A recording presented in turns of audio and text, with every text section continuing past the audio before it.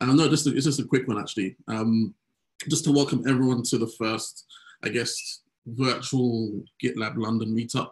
Um, my name is Anthony, work at GitLab with, with John, and hope everyone is doing well in this new normal uh, and transition. Um, yeah, everyone is uh, welcome to participate today, so we look forward to hearing your questions. Um, in case anyone's forgotten what day it is, given that every day feels the same, it's uh, 21st of April, 2020. Um, so uh, it's the first one. Today's focus is Kubernetes and GitLab. We've got two great speakers, Will and Nico, who will be sharing um, uh, with us uh, on, on some content.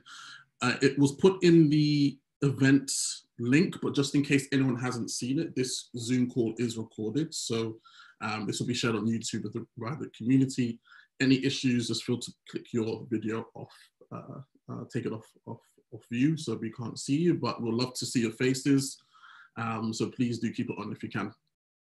Um, there are two, well, there would, I guess there are two lucky winners today. So it wouldn't be a GitLab event if there weren't any winners or prizes.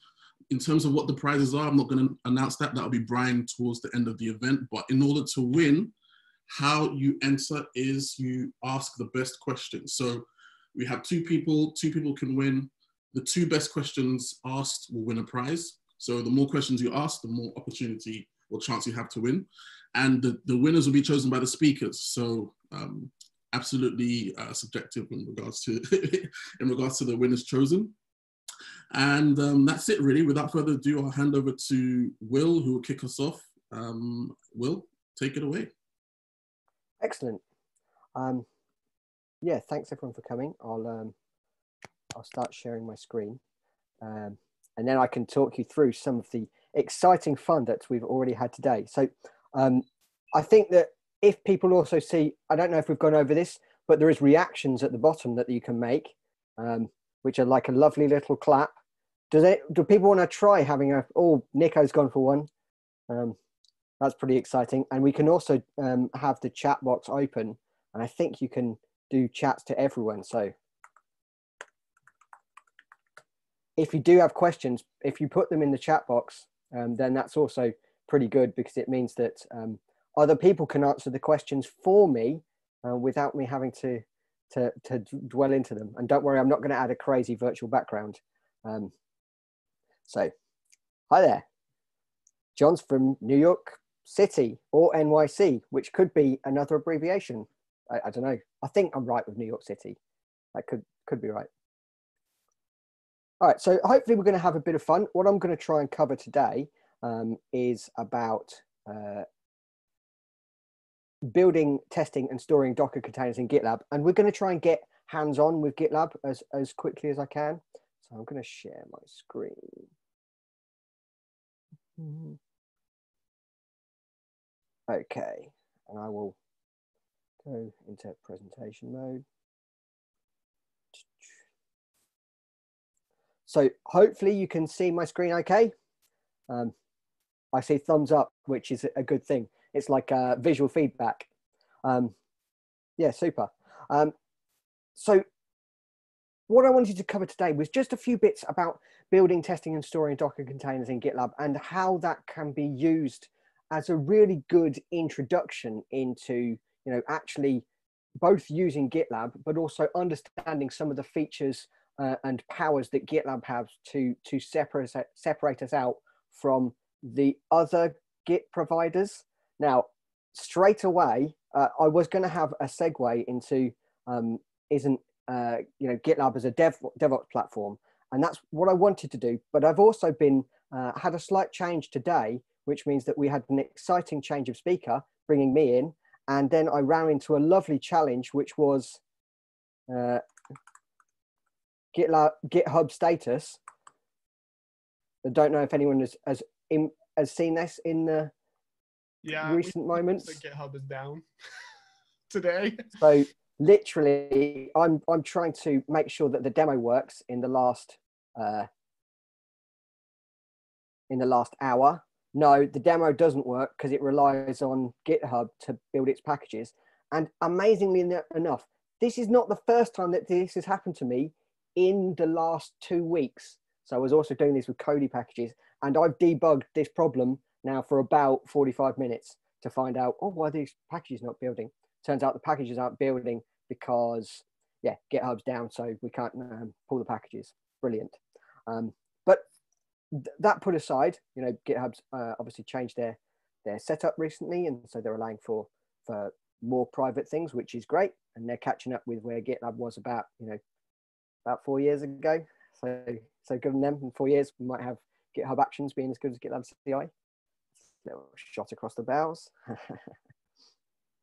okay, so when I say about GitLab being a DevOps platform, what I want to try and suggest is that it's it's not really a tool just to host where you have your your Git repos, but it's a lot more of a platform to enable a lot more of the jobs that we're generally running in DevOps nowadays. So, from my opinion, um, DevOps is obsessed with process improvement, making everything code, automating things, and delivering visibility and understanding to others in its core um, efforts to, to deliver that. You know, all of the the techniques that that come afterwards uh, that are these kind of things, you know, continuous integration and delivery, infrastructure as code and configuration management, testing release management, containers, monitoring error management, um, you know, DevSecOps and compliance are all parts of delivering that, you know, that, that core process improvement, making everything code, being able to automate and delivering visibility.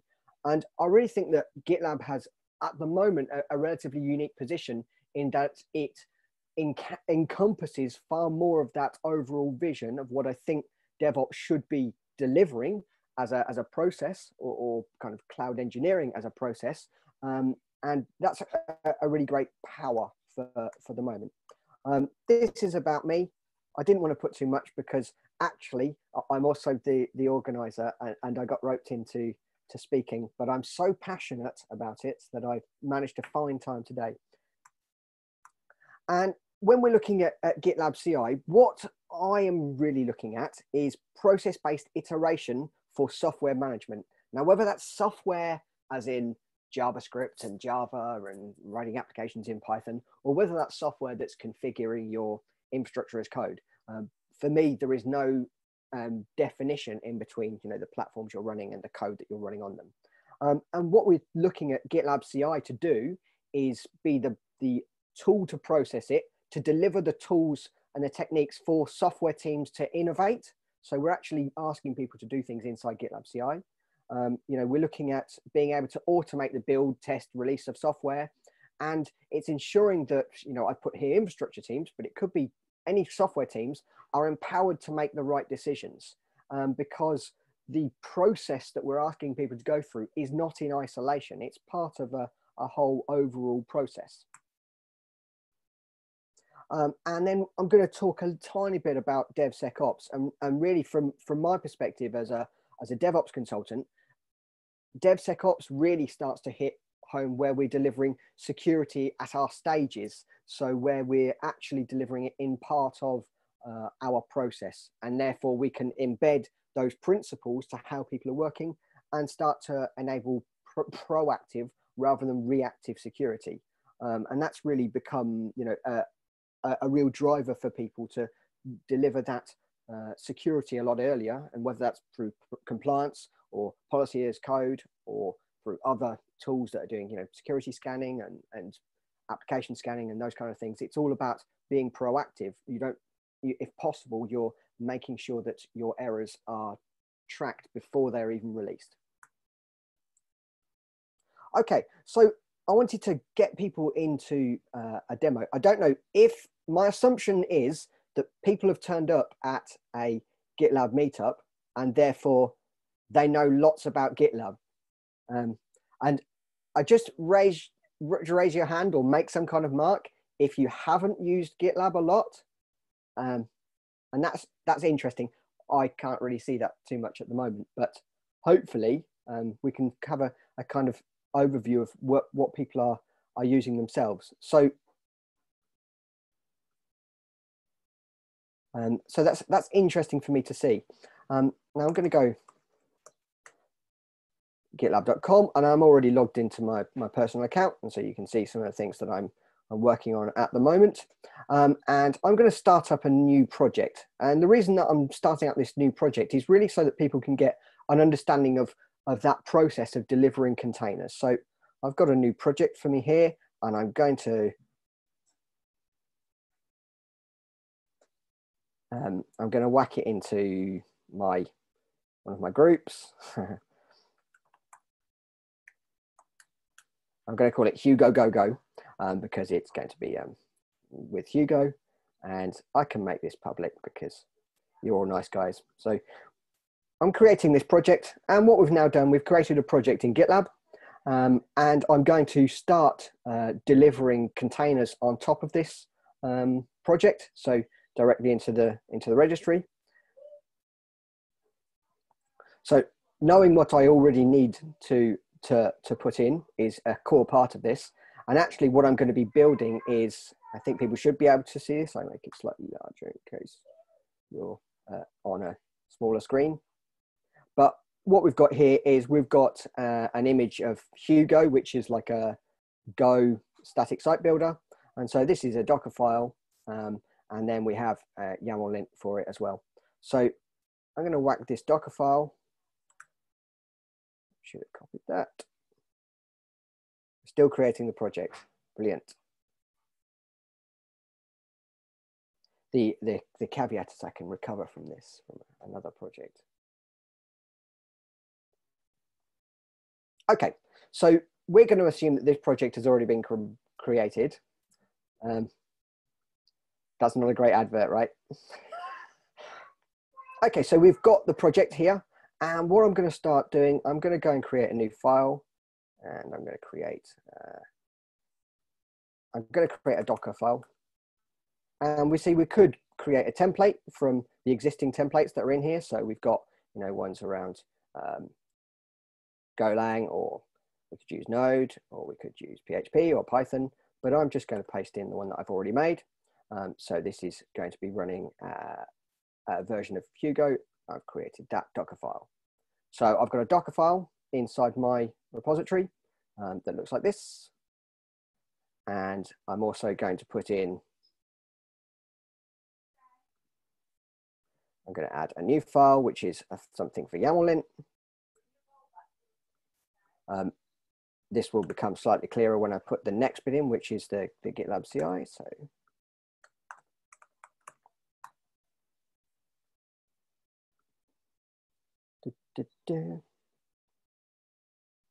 So we've got YAML lint in here.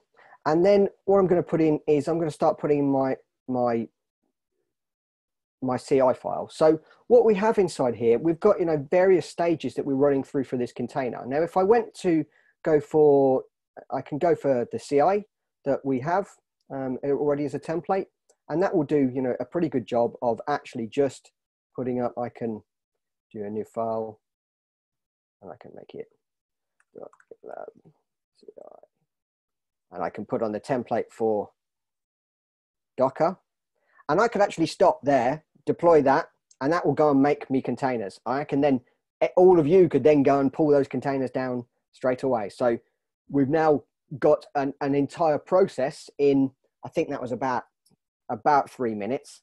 Um, that you could go and actually make a container and make it publicly available. I don't know how many people have, have tried pushing to Docker Hub, uh, that kind of thing. Um, but this is you know a way of linking those two together. You're not having to build anything in in in sync with you know GitHub and, and Docker Hub to to push it. We can do it entirely through GitLab.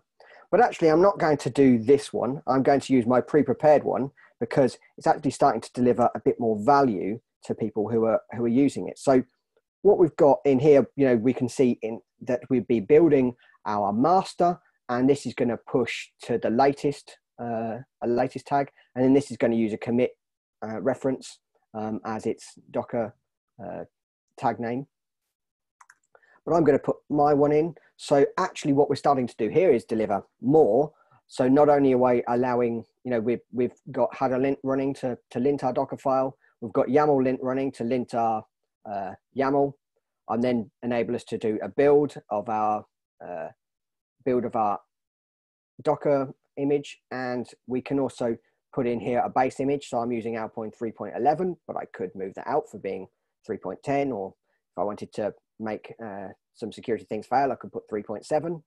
Um, and then I'm also putting in that we were able to do a, a tag, and we're putting in here that we're using a commit tag. So if I tagged my commit with uh, a version that's compatible with Hugo, so 0.69.0, which is the latest one, I would be able to build uh, a tag that's going to build, be exactly that one, providing I changed this part.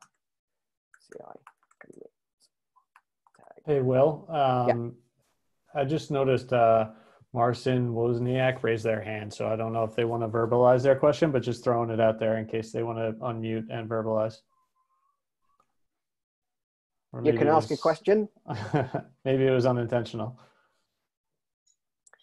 maybe he was being uh, like an evangelist in, in and i was going to say uh, raising his hand to that that's definitely the word um okay so as we move on we've got in down here we've got you know the ability to use Trivy.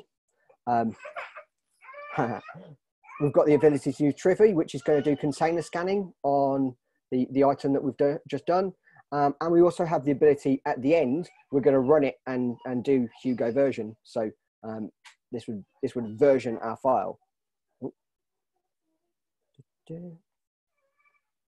So what we've kind of shown in this really quick overview, um, and this will take a, a couple of minutes to complete, um, is that actually what we've what we've built is a pipeline for delivering, you know, relatively uh, improved Docker containers in 10 minutes. And I realized I, I'd ex- established a couple of these things in advance, but actually I'd established them by copying and pasting stuff that I had in other uh, containers already. And, and so we see it's not particularly challenging.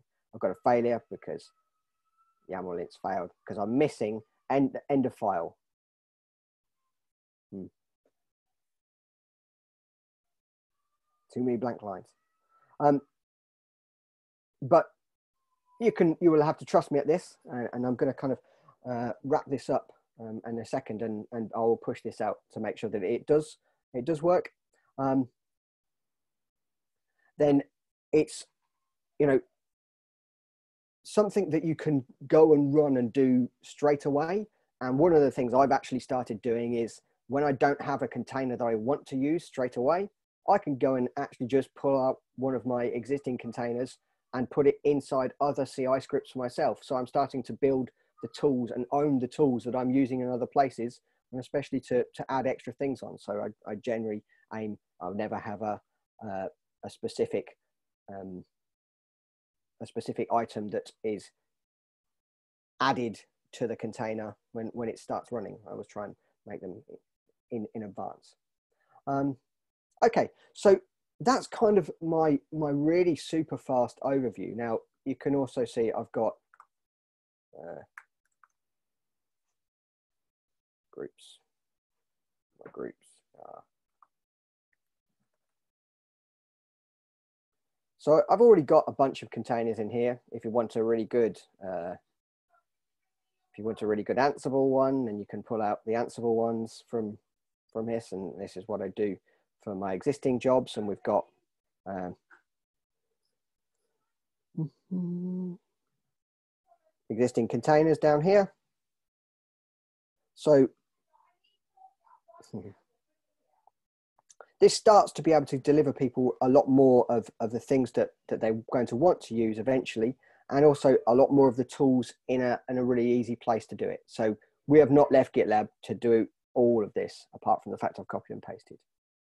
Um, I don't know if we're going to take questions now. I don't know. I don't think I saw any questions from the chat, but that's kind of my uh, really quick overview of, of building, improving um, uh, containers inside GitLab. Does anyone have any questions that they have?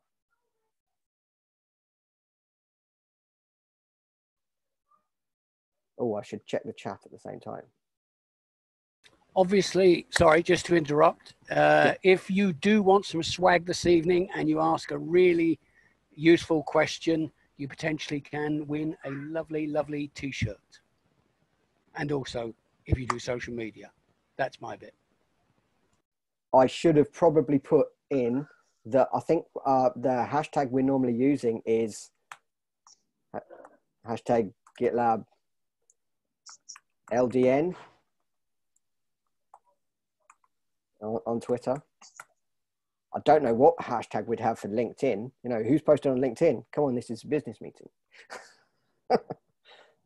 um, super. So if no one's got any questions, you can obviously look to contact me uh, later or after um, during the other bits. So, so I've got a question. Okay. Um, so, so you created a Docker file, okay, and Yeah. um, that was going to be um, pulling an image into it, and then you added a few other layers and created an image, a customized image. Where would that image now be stored? Is it local, or is it going to be? Um, So- you, No, sorry. I, I if I show you inside some of these that, that have already um, succeeded, so the, the process has already passed for them, what it will do is you will run uh, Docker inside Docker, so like that as a, as a container, um, and then you're able to, this is uh, building Alpine, so it builds the container inside there, and then because GitLab runs a registry, and you log into the registry, you can push that container back into the GitLab registry that you're running. And ones that are public are available to download straight away. So you could reuse them in other GitLab CI um, pipelines, or you could just go and pull the container. Does that make sense? yep, thanks. I wasn't sure who, who that was speaking. I don't have a Uh, Sunny. Sunny. Thank you very much, Sunny. We have to track the names, Brian. That's I, I won't know.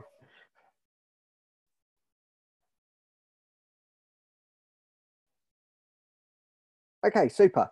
Well, I will. I will stop sharing, and I think that we're going to seamlessly move over to uh, Nico's uh, session, which is what everyone's come for, right? You know, so we can get some of that Kubernetes, Kubernetes goodness. Yeah. So, any last questions for Will before I start? Okay. Ah, maybe I should share my screen first. And now Zoom is telling me that it's not allowed to share the screen. Perfect. One second.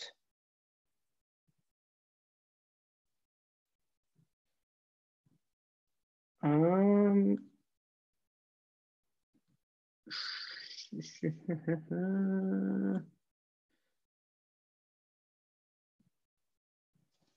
One second.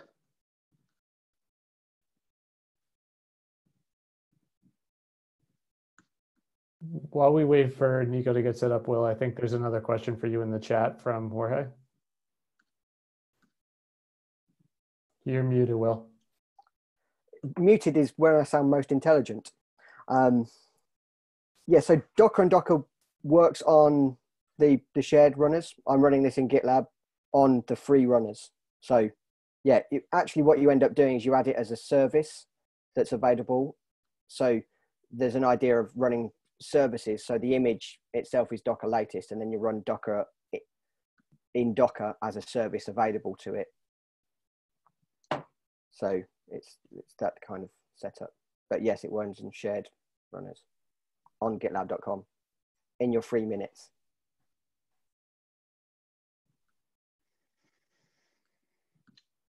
Okay, looks like I have to restart Teams to get it running. Um, we'll be back in some seconds, sorry. I was going to say, if you're restarting Teams, is that not the wrong application? I'm in Zoom. Is everyone else not in Zoom? I'm in Zoom too. I don't know how Teams works. Maybe there's an integration or something.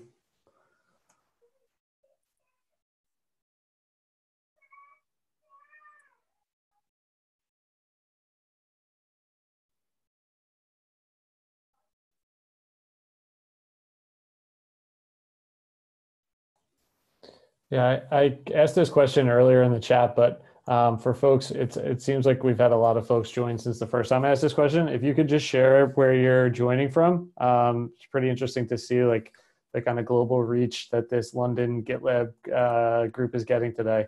Um, feels like the London folks might be outnumbered, so maybe they want to step up and represent you know London by sharing their location in the chat.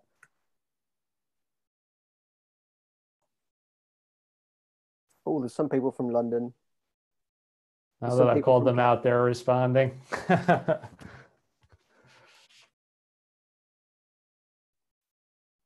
So the, there's a question in there for you, Will. Um, ami- amongst all of the, the Londons and, and Nottinghams and, and UK UK people, there's a there's a there's a question in there for you. So, from the previous GitLab webinar, I, I wasn't in that webinar, um, but um, I'm going to have to maybe rely on someone else to, to know whether Maven's registry is also supported in Community Edition.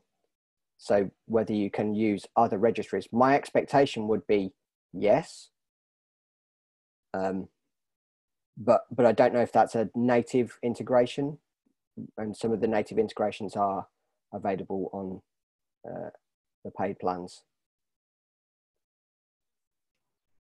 I believe the GitLab Maven repository is a premium feature, um, but there are other GitLabbers on the call who may be able to correct me if I'm wrong.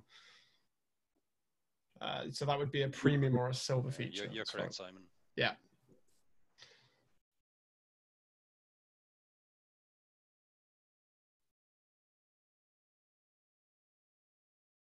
Is Nico? I think Nico. He's off the call, right? I think maybe he's reset the system. This is when it comes into value that I brought my mask of Nico, right? Did you expect it to be there? there, oh, excellent. that looks like Nico. So, do you see my screen now? Yes. Hopefully. Yes, Ah, we do. perfect. Perfect.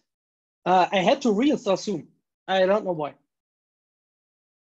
Um, okay, just let me bring up the question window and then I'm ready to start. Okay, good, so for that.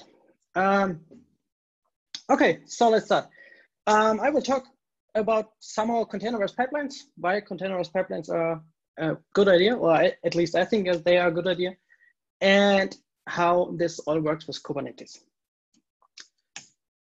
So, a short intro of mine. So I'm Nico Meisenzahl. I'm senior cloud and DevOps consultant at White Duck. White Duck is a small consulting development company in southern Germany. So we're located near Munich. And normally I would have been in London this week for a conference where we decided to put up the meetup and, and meet in person and have some, some fun. So now everything's different. Uh, I'm back near Munich and uh, doing this remotely, but it's, it's still fun. So I'm GitLab hero, Microsoft MVP, Docker community lead. Um, so I'm working pretty much with the community and I'm completely in for Kubernetes, uh, DevOps stuff and, and cloud topics. So my agenda today. Um, so just a brief introduction about GitLab and Kubernetes itself, how it works. Um, then we'll talk about containerized pipelines and why those are pretty nice. And then we talk about how you could move your pipeline workload into a Kubernetes cluster. Uh, and then we'll talk a little bit about how you could build container images within containerized pipelines. So container images within containers, uh, slightly different than Docker and Docker, which uh, but um, just providing some some more input. And then, of course, uh, if you would like to get uh, swag, please ask questions, and please ask Will, not me. Would be nice. okay, so uh, let's get to the slides. Um, so GitLab and Kubernetes. Um, yeah, it's a perfect fit. So you can different things between GitLab and Kubernetes. First of all, you can host, if you have a self-hosted installation, you can completely run and host it on a Kubernetes environment to share resources. Um, you can use and integrate your GitLab CI or your whole GitLab project with monitoring and, and tracing stack, which could be installed in your Kubernetes cluster. Um, then you have options like um, functions and serverless apps. So basically just caring about your code, just committing your code, your Node.js application, Go application, then um, commit it, and then the pipeline will run. The whole Docker file will be generated on its own. The deployment into your Kubernetes cluster uh, will be done for you. And then you have a serverless application which completely scales out from zero to undefined count of pods. Um, as you see here, um, was an example for me from uh, some weeks ago. So pretty nice uh, option with Kubernetes um, to, to easily scale out. And then last but not least, um, you have the option to run or containerize your build pipelines. And this is the main topic I would like to talk about um, today. Yeah, so why containerized pipelines? Uh, so basically, uh, containerized pipelines are, are pretty nice because of the same reasons containers are. So your processes are isolated. So container image is nothing else than an isolated um, process. So with this in place, you can run multiple pipelines next to each other and nobody is, uh, is seeing the other pipeline and you don't get any issues and so on. Um, this is the first one, so isolation. Second one, um, dependencies. So if you have complex build pipeline or deployment pipeline with any kind of um, dependencies, SDKs, um, CLIs, and other tools, and you would like to always get the tools in the version you would like to have them. So let's say you are depending on, on Java, then you would like to have a specific Java version um, in place for your build pipelines and you only would like to change this version if you would like to change it. So if you're running on a shared runner, you might get a newer version or older versions. If you have different um, different build runners on your own, you might have some issues because I don't know, you have five machines and they all need to look the same, have all the same uh, software installed or dependency installed. Yeah, with containers, it's just a container image. So it's you define your requirements in the Docker file, building the container and using the container. So all your dependencies are within your build process, which is pretty nice. Um, so if you need Java, just put in Java. If you need, um, I don't know, Ansible also, just put in Ansible um, and you can use it and, and um, run your pipeline in. Then of course, scalability. So with containers and Kubernetes in place, you easily can scale out even your pipelines. So it's, if your Kubernetes cluster is big enough, you can scale out um, as you need. And then a very important one, uh, immutability. So a container image is immutable. Every time you recreate in the container image or starting a new instance of your container image, um, it looks the same every time. So with this in place, you can make sure that every pipeline run looks the same or has the same dependency in place as you defined. So doesn't matter on which of your host host this uh, pipeline image or the pipeline job is, is uh, generated and started, it looks the same all the time because the whole pipeline job is triggered within your container image, which is pretty nice. And those, there are no limitations. So it's working with nearly every project or with every project. And you just need to put the dependencies into your, uh, into your build image, which you're using for your, for your build job.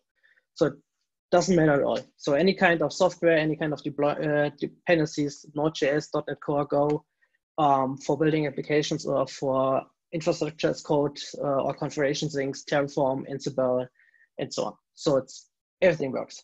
You just need to build um, your own Docker images and Docker uh, Docker files, or just use existing ones.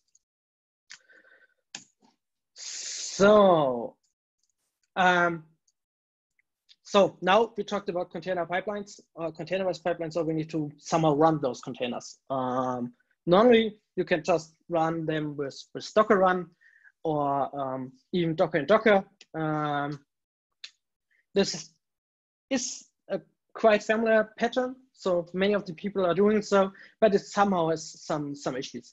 So if you, let's say you have a, a build, build host running your, your pipelines and would like to, to um, run um, your job in a pipeline, you can just do a, a, Docker run script um, or Docker build and, and, and, and run your scripts um, and run the container and doing things within your container, um, injected in the entry point and so on. Then you have the advantages of containers are immutable, but in this case, it's also a disadvantage. So let's think you're building an artifact, Java, Node.js, doesn't matter. Um, and you're building it in your container image. And then you would like to deploy this artifact in a later step you need to think about things like caching, artifact managing, uh, management, and so on. So it's, it somehow works and you can provide those scripts and build those scripts to get uh, your artifact from the first step to the second step or using a caching um, every time you run this pipeline step. Um, but you somehow need to build it on your own and you build, need to build your scripts and maintain your scripts on your own.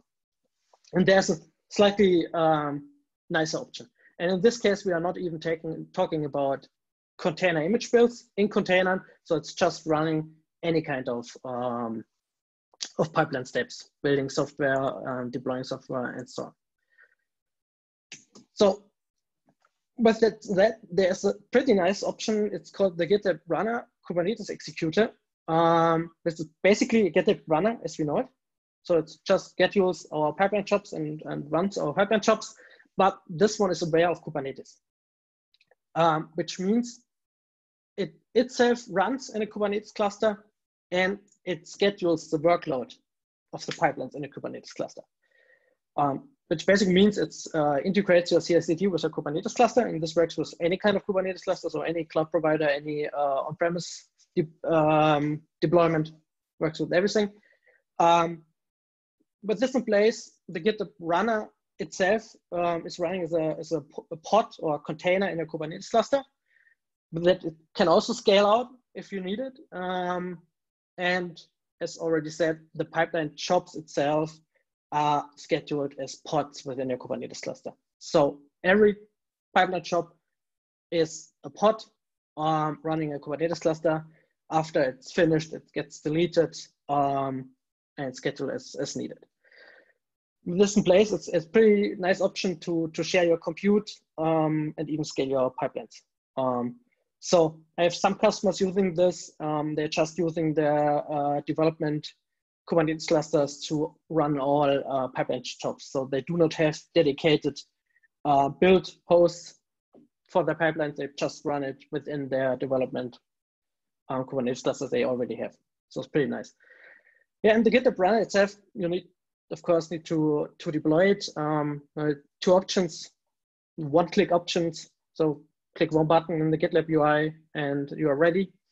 And the second one is more production ready option as you can um, also automate the deployment and configure as with, with Helm scripts, as we already know it in the Kubernetes world.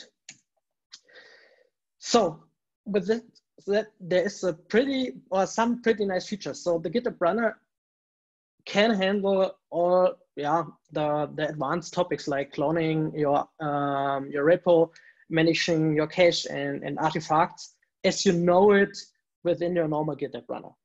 So you just need to define, I would like to have caching, um, this directory, or I, I would like to, to store this artifact and um, the GitLab um, runner Kubernetes executor is just executing this one. Um, to get this in place, the pipeline job itself, which is running in the container, um, has multiple stages. So we have, um, let me put in the laser. So we have, first of all, a prepare step, which creates the pod for the pipeline runner. And within the pod, it creates multiple containers. So one is your build container, which is really running the Docker image you define in your pipeline. And we have a look in the pipeline configuration later and some service containers. And those service containers are cloning your repo, um, um, copying your caching, and or downloading your artifacts. And then we have a pre-build um, step, which I already said is um, doing all the stuff. Um, and then we have the build um, step, and in the build step, your actual uh, pipeline steps are executed within the Docker image you defined.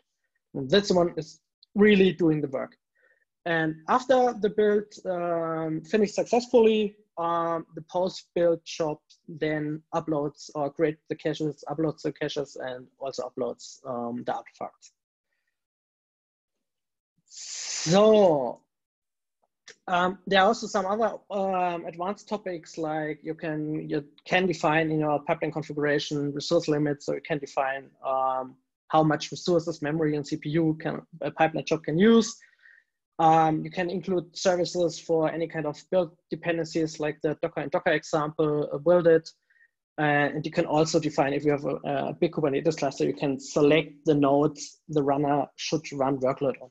So yeah, you're pretty um, nearly all all advanced topics or topics you know from a GitLab runner are uh, configurable within the ex Kubernetes executor. So let's have a short demo how this is working. So first of all, I'm in a um, GitLab project. It's it's it's available out there, so you can just access it with the URL. And I added uh, already added Kubernetes cluster. So in your project, we have the Kubernetes tab where you can add a Kubernetes cluster, which I already did. Um, if you did this, you get some some basic information. So you get um, you should get uh, you get a little information about the health of your cluster, CPU, and memory usage, and you have the option to install um, applications. So here you can install the GitLab runner as well as different other tools just with one click into your Kubernetes cluster. Now this is one version to get the GitLab runner into your cluster. Um, second version uh, option would be to um, use the Helm chart, which gets provided by GitLab um, in this in this repo. And you have the option to um, install the GitLab runner with Helm. So Helm is a package manager in the Kubernetes world. Um, and there you have a value YAML definition file where you can, then can define any kind of setting. So you can define your GitLab URL, self-hosted URL. Um, you can define your runner tokens and so on. You can define how many jobs um, should run concurrency. Um, can define log level, log format, um, enable metrics, uh, and then you can define some kind of default image for your runner, um, and so on. So um, yeah, and then you have option to configure your cache, to configure service containers um, upfront and so on. So it's pretty advanced configuration. You can enable nearly everything you need. Um, so in a production world, I would recommend to, to install the runner with the Helm script and then connect it to your, to your environment. So if you have the runner in place, um, we then um, can, can use it in our cluster. Um, here I added an example um, pipeline. Pretty basic one. We only have one stage and we're only doing one deployment. So we do not build anything. It's just deploying an application into our Kubernetes cluster. We're defining some variables. Um, important one is the Helm image. So we're once again using Helm to install our application and we are defining um, our image here um, for later use. So it's just a variable and we have a other variable which is called message um, where you can put in some, some text. Um, I will show you later. And then we have our stage um, with only one, one job. Um, first of all, we're defining a tag. Um, with this tag, I tell the pipeline to run in our Kubernetes environment because the runner has also the tag Kubernetes, um, providing some environment informations, and then providing the image the pipeline job should run in. No, here just defining the name, which is an image of mine, only providing the Helm CLI. Um, and then I'm overwriting the entry point script and add some, some additional scripts and just install the application um, with the Helm command. Um, so as you see, I do not do anything around authentication so because the, the GitLab runner is running within Kubernetes, it also is allowed to deploy into my Kubernetes cluster. So you don't need to think about any authentication and so on. It's just working. So um, I already uh, run this pipeline, as you see here, and got my application. So it's just a, a hello world with um, our logo. So it's it's free. Um, and now I would like to run the pipeline again and just change um, some some text. So let's change the hello world. In this case, already said it's a variable where I can define um, the value. So just run it manually. Put in the variable, say, I don't know, hello GitLab. And before I run this, I will head over to my Kubernetes cluster. And we can uh, have a look at our running containers. So doesn't matter at all. This one is important. This one is our GitLab runner running in Kubernetes. Oh, let me make it a big, a little bit bigger.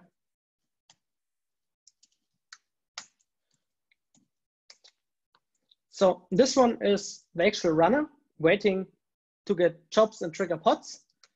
And now if I go back to my pipeline um, and run this pipeline, so I will directly head over to our Kubernetes cluster we get a new container schedule. And this container is used to execute our pipeline. So it was pending, now it's creating. In some second, it should be running.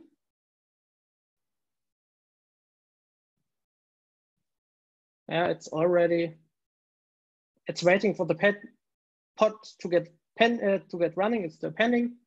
Same here. Now it's running. So now my pipeline should have been um, executed and it's already terminating. So the job is already done. Um, yeah, it's already done. Um, so we now deployed a new version of our, of our service. So we should already see it somewhere. Oh, here. So the new pod is scheduled. This one is our application pod. It's, it's up for 22 seconds now. So if I head over to our demo application and just reload, we're seeing the hello GitLab. So pretty easy pipeline, but completely containerized running within our Kubernetes cluster. Okay, so before over, any questions so far? Oh, there's many stuff. I think there's been a few questions, but I think we've uh, we've managed to answer um, oh, okay, most perfect. of them. I think if anyone hasn't had their question answered, I just uh, highlight it. Okay, perfect. Thanks. Um, oh, there's a question. So is the pipeline running in a pod within the same cluster the container has been deployed? Yes. So in my my example, it's the same cluster. Oh, wait. Yeah, it's the same cluster. My pipeline, uh, my Kubernetes executor is running is also deploying to the same uh, Kubernetes cluster. But you could, of course, um, also deploy into a, a, different Kubernetes cluster. But then you would need um, either to, yeah, you need to, to add some more steps and authenticate against the different cluster and then deploy to the different cluster um, like you would do with, with, with Helm and kubectl, um, or you just um, deploy a GitLab runner into the second cluster you would like to run the application, and then the runner would, do the authentication against, against it. Okay, so next one. So now we are doing containerized pipelines. So we need somehow containers. Um, so every pipeline job we are using, and I already did in my example, um, we put in our binaries and our libraries and tools. So in my example, it was just Helm, um, but it could be anything, any kind of SDK, any kind of build requirements, and so on, and any kind of external dependencies. Um, and of course, you also should rebuild those um, because of security fixes. So I have a, a, um, um repository, you can share the link later, um, which contains, or it's basically this one in the, in the, in the project here in the pipeline.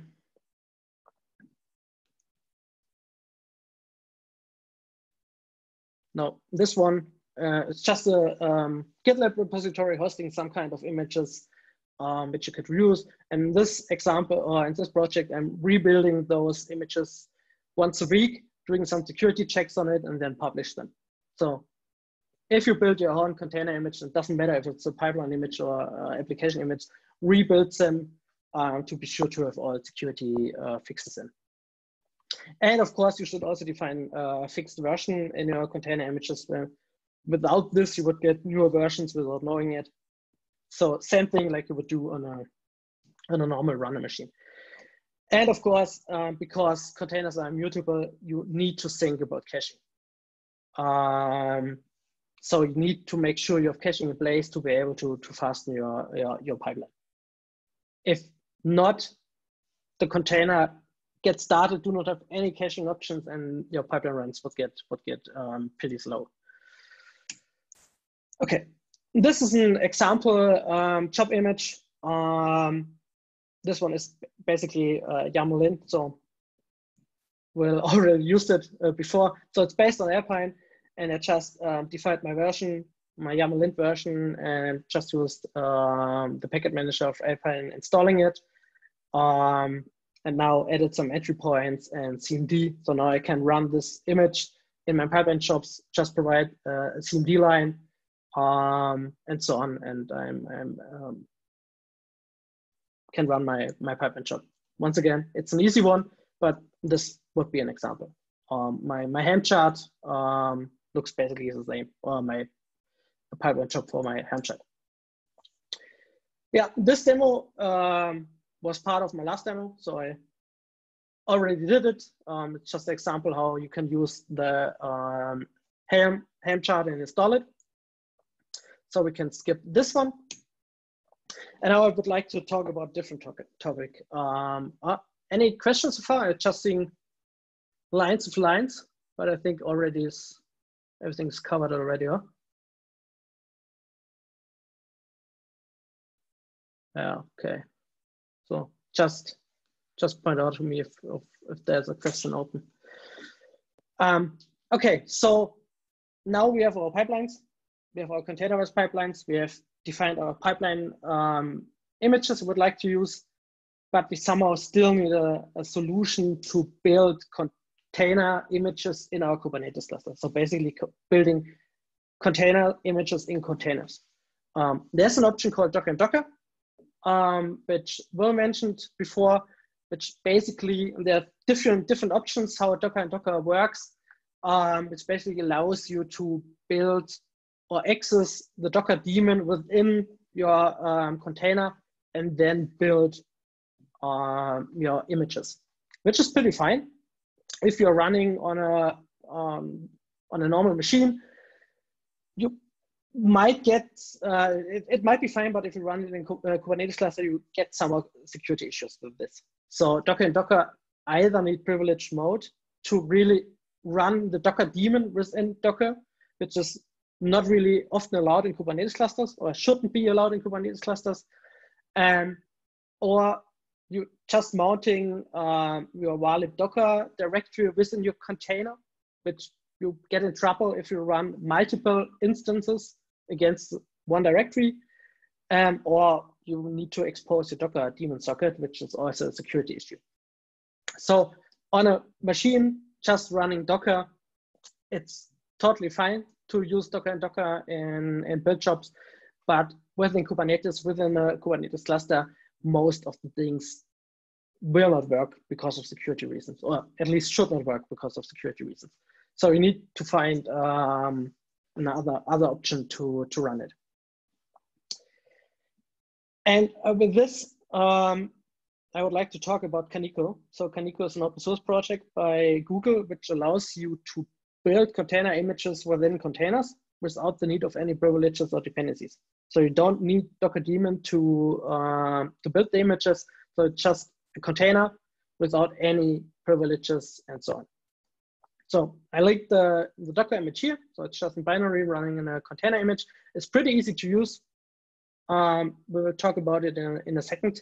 And once again, because also Kaniko is running in a container, you need to think about caching uh, to speed up your pipelines.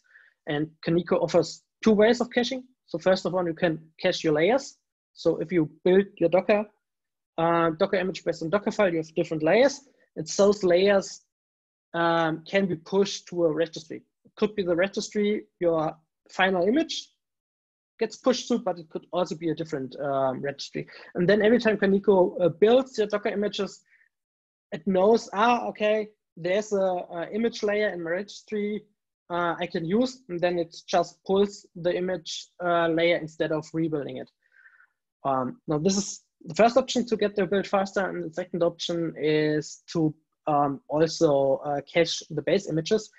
So basically, those images you define in the Docker file in the from from line, and and those images can be cached um, with the volume or um, in the file system. And for a container, it's file system is not a good idea. So this one could uh, could be cached with with the GitLab cache option um, with the runner. So with this two in place, you nearly get the same uh, same performance as um, as a normal normal builds. Um, just an example how Kaniko works. In this case, we are just running a pod, um, defining a name, defining a name, um, defining a container with the container image, the Kaniko image, and then providing some arguments. We need to define where the Docker file is located, um, we need to define the context root of the project. So the folder the Docker file is in, and we can, can define a destination. So if we skip the destination, we're just doing a build. If we would like to test the build with the destination, we doing a push after the build um, has finished. We can also define multiple destinations if we would like to push multiple takes or the image to multiple um, Docker registries. So once again, a short demo. So now we have um, a small, uh, small project. Um, once again, a small Docker file. This one is basically the Docker file I used in my first demo. So it's providing Helm. Um, it's based on another Docker file of mine, um, kubectl, which is dependency for Helm. Um, and then I'm using um, Package Manager to install my, my, my Helm, um, defining the entry point, um, defining CMD line to be able to just um, call Helm straight away. Um, this is the Docker file. And of course, this one is easy one, but of course, also multi-stage uh, Docker files would also work with this. This is um, the sample pipeline. Once again, pretty easy one stage, uh, we define one variable. Um, this one is the Kaniko image tag we would like to use. So this one here, um, it's important. This one needs to be de debugged at the moment because the, let's say, normal Kaniko image does not include, uh, uh, does not include a shell. So your scripts in line 15 to, to 21 wouldn't work. So you would don't need the debug image. It's a little bit bigger than normal one, but doesn't matter. Um, since some weeks, the Kaniko project also provides uh, versioned uh, debug images. So if you just use debug, you will get the latest one, but there are also um, versioned ones available. So once again, we're defining the tag to tell GitLab to execute this in our Kubernetes cluster. We are defining the Kaniko image um, we would like to run in. And then we have two lines of before scripts those are just uh, those are needed to authenticate with uh, a registry. So to be able to push the image after we build it.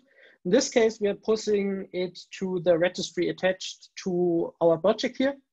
So we have our package container registry here, um, which is pretty easy. So we just um, can use predefined variables and do not think about any any um, any names on authentication. So this one provides the URL to the registry. Then we provide a username, which is our GitLab CI token. And then we're providing a password, which is our CI job token. So those are only valid, or this is only valid in this job. So it's pretty secure. And um, save it into a file. And with this, Kaniko is able to, um, to push it into our registry. And then we have the actually build scripts So we're calling the Kaniko executor, providing a context. Once again, it's our CIA project directory uh, variable.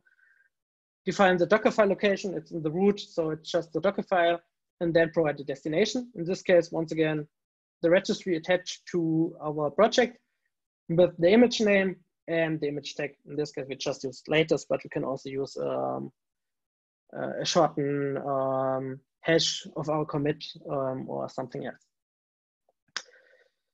So, and if we now run this pipeline,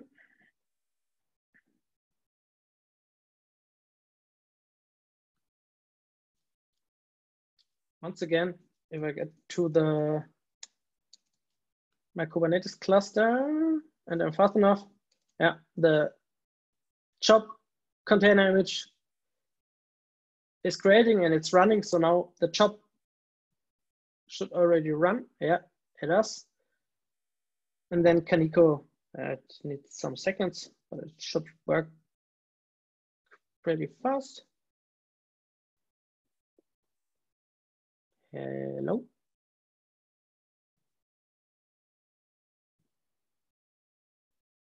Ah, here we go. So the output is pretty similar to um, Docker build. So it's just installing all the stuff, running um, the different lines from our Docker file, taking a snapshot, um, defining the entry points, CMD, um, everything I already defined, and the job is already done. So if we go back to Kubernetes, the job pod got terminated already, so it's it's already um, deleted from our cluster. And if we now go to the container registry, um, we see the Helm image and it got pushed 30, 40 seconds ago. So it's um, a new image which is now available in our container registry. We can use it for our pipelines or for anything else. Yes, so this was my talk so far. Any questions?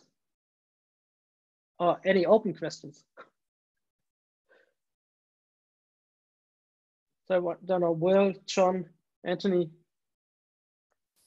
I think it looks like there's a couple of questions in the chat. Okay. So let me check. It might be easier to just ask folks to verbalize their questions because there was a lot of back and forth in the chat. I'm not sure how many of the questions are still unanswered or people are looking for further clarification. Does anyone want to verbalize a question? You can just unmute and ask Nico.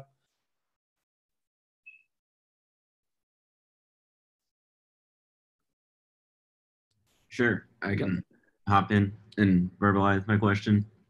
Um, yeah, it looks like someone else in the chat has a similar question. So, uh, Nico, I, I guess I'm wondering, it, it's a little bit tangential to your talk, but I'm wondering about the process for getting artifacts into the Kubernetes job containers. Because um, you mentioned that there's a service container that pulls the artifacts, uh, but I also know that GitLab is pushing more the ability to use like Maven or Conan. And like as part of our pipelines, we build a variety of like test binaries and uh, like actual software binaries that we'd like to deploy. And it would be really nice to kind of distribute all of those artifacts into a number of Kubernetes jobs uh, that can then test one thing very specifically. So I'm wondering what the process is generally for, for getting artifacts into those containers. Okay, so it so it depends. If you use the artifact function in GitLab CI, then you can define the artifacts within your pipeline configuration, and those get automatically um, downloaded into the pipeline container. Um, if you use some external um, artifact management tools, you will need to download them on your own, like you would need to do on on your on your hosted runner or on your normal runner. Um, I, I, I, it depends how how fast changing they are. So maybe you could also just download them, put them in the cache directory, and use cache to get it to every pipeline job, um, or maybe also um, build them within the pipeline job. So if it's I don't know, changing once a year the artifact uh, for testing purposes, you can also put it in the in the Docker file and build your pipeline image with with the um, artifact in it. So it, it depends. but basically you have the uh, artifact options GitLab CI provides, which you can use in a containerized environment or not, and everything else um, would need to build, uh, you would need to build on your own.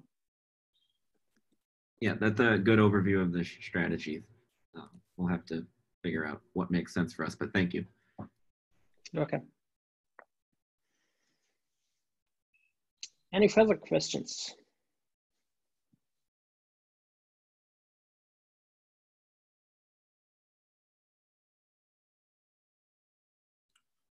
Can't see any in the chat, but yeah, feel free to verbalize any questions you have if you did not write anything in the chat. Okay. So just for information, the slides are already available online. Um, also, the demos are completely available. Um, not only the two I showed, there are some more available on this URL. Everything's public, so just test it, try it, play with it.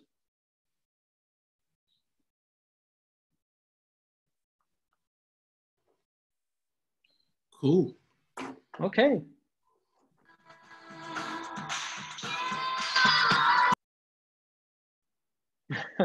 Was that like theme music?